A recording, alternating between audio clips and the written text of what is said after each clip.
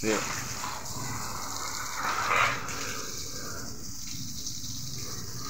Tanta la calor que está haciendo aquí.